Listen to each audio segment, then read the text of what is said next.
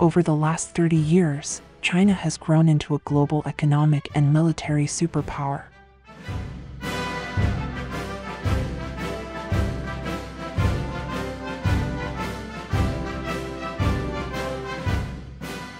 It is the world's second largest economy and a leading production hub worldwide.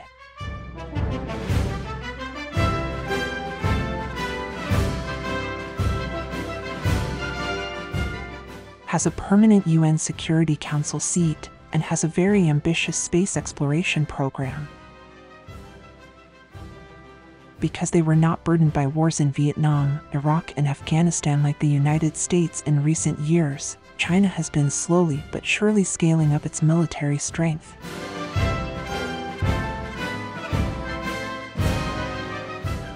China's navy is now larger than the USA's.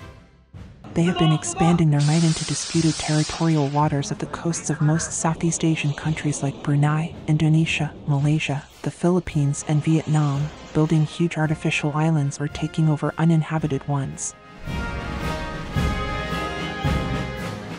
China has been observing the West and their military capabilities, silently developing an advanced arsenal, including long range weapons systems. It was announced in late 2021 that there is now a new military alliance between the USA, the UK, and Australia to counter China's aggression in the Pacific. The news surprised many, leading to speculations that preparations are underway for a potential war with China a panel of five experts discuss how Australia will get affected and survive if the worst case scenario, an all out war between China and the United States, takes place.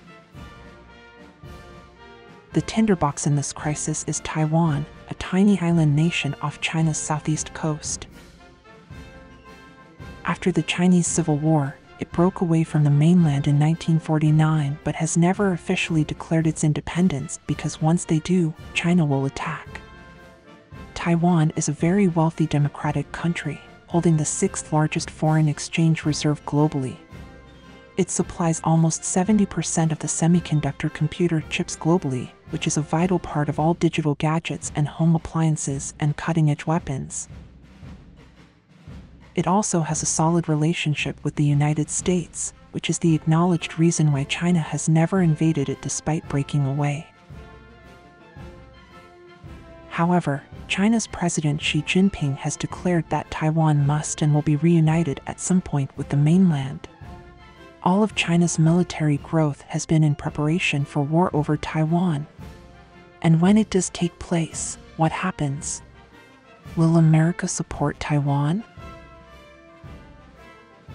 And if they do, will Australia also help out as it has done historically in many other armed conflicts? Since it is a well known American ally, expert military strategists agree that there is a big possibility that Australia might take a nuclear hit.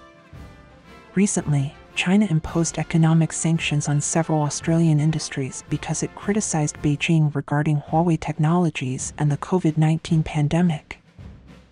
Australia is one of China's largest trading partners globally, making the situation even more alarming. Australians need to decide if it will just sit back and let China take over Taiwan or if it's ready to get wholly involved in a major global war. However, due to the intricacies of foreign policy and diplomacy, that decision may have already been taken out of their hands.